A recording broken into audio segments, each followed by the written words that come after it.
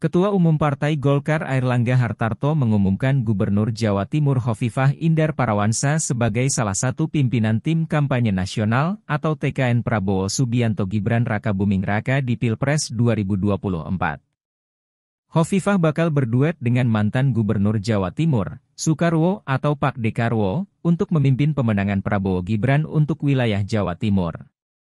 Hal ini disampaikan Air Langga saat mengabsen sosok yang hadir dalam perayaan Puncak HUT ke-59 Golkar, di kantor DPP Golkar, Jakarta Barat, Senin, 6 November 2023, malam.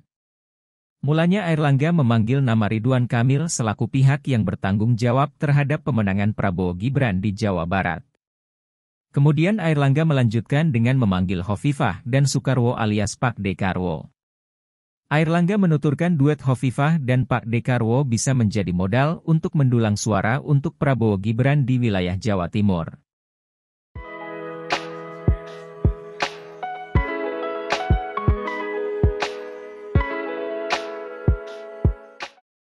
Download Tribun X sekarang, menghadirkan lokal menjadi Indonesia.